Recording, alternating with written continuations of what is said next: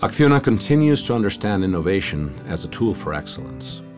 The company kept its firm commitment to innovation as its main tool for assuring sustainability and competitive advantage and improving efficiency. Acciona creates value through its capacity to innovate.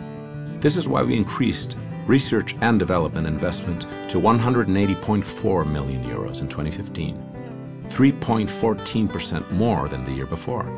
In fact, between 2010 and 2015, we have invested 876.4 million euros in research. The company's commitment to remain at the cutting edge of technology is also reflected in advanced initiatives in fields such as Internet of Things, mobility, big data, advanced analytics, and digitization. As a result, Acciona has kept its place in the main innovation rankings.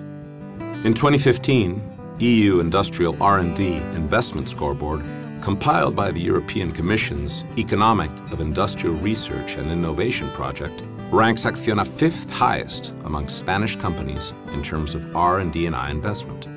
Acciona entered 2016 with the aim of keeping its innovation to sales ratio higher than the European average in order to maintain the company's innovative leadership.